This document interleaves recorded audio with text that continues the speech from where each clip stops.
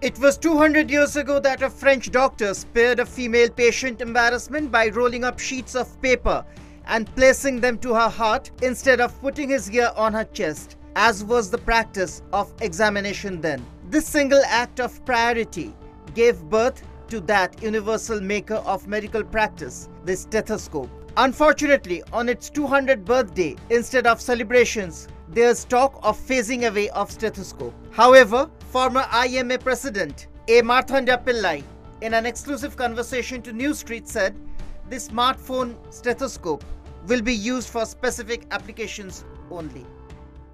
For our uh, regular use, uh, our ordinary conventional stethoscope is enough. Uh, these uh, uh,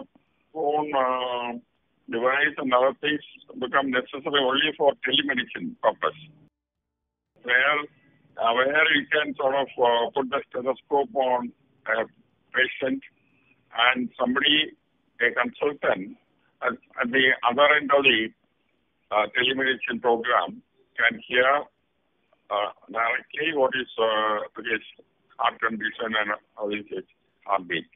So that has a very limited use only. It's not going to replace our conventional stethoscope. Well, this is just the beginning, and we are going to hear many arguments, some in favor, while some against the concept. But that's normal when new thoughts takes over old school of thoughts. One of the biggest issue here is the price bracket also. However, one will need flawless internet connection for successful usage of this smartphone stethoscopes.